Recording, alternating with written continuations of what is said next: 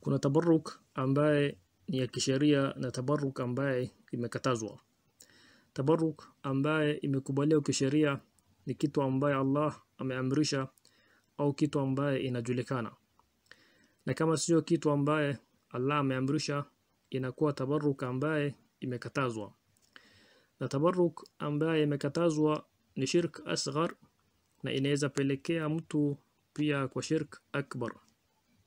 Kwa mfano kusoma Qur'an iko na baraka na ni tabaruk ambaye imethibiti kisheria. Kwa mfano huyo anasema mimi nasoma Qur'an na ninatafuta baraka kwa kusoma Qur'an.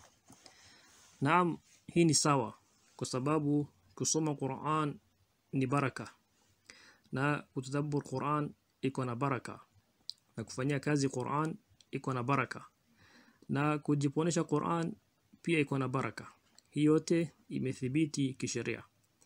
Sheikhul Islam anasema vitabu vya imamu wanne Allah ameweka baraka ndani yake. Na kama hakuna dalili ya kuonyesha kitu ni tabaruk ambaye imekubalika kisheria inakuwa tabarruk ambaye imekatazwa. Kwa mfano mtu anatafuta baraka kwa sheikh fulani anaweka mkono kwa sheikh alafu wanajipanguza nayo halafu wanasema baraka imetuzuru la hakuna kitu kama hii.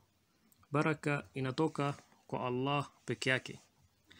Je kuna mtu yeyote aliweka mkono yake kwa mtume sallallahu alaihi wasallam halafu akajipanguza nayo?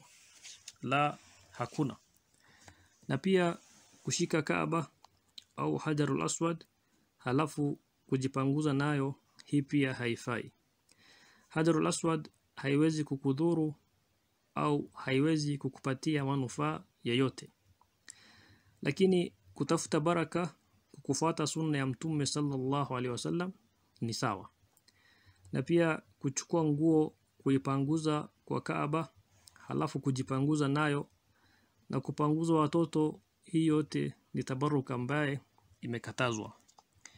Kadhalika kujipanguza na mchanga ya kaburi au mchanga katika mlima Uhud haikufaidi lolote. Kama ingekuwa inafaidi ingefaidi mtume sallallahu alaihi wasallam na masahaba. Katika vita vya Uhud mtume sallallahu alaihi wasallam aliumia na masahaba wengine waliuliwa.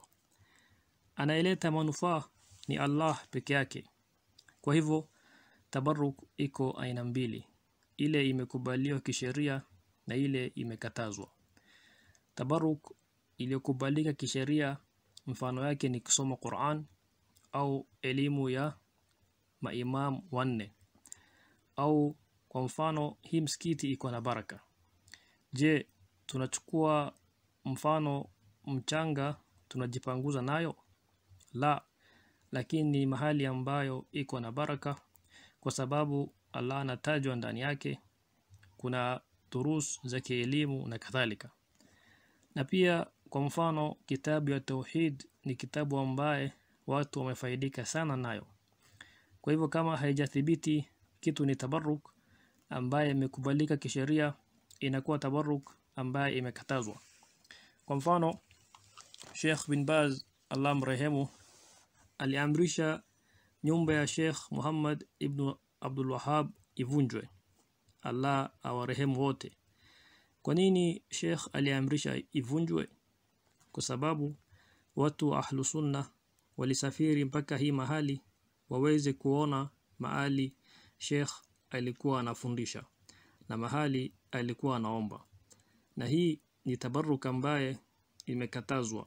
Sheikh Ibn Baz Allah mrehemu akaamrisha hiyo nyumba ivunjwe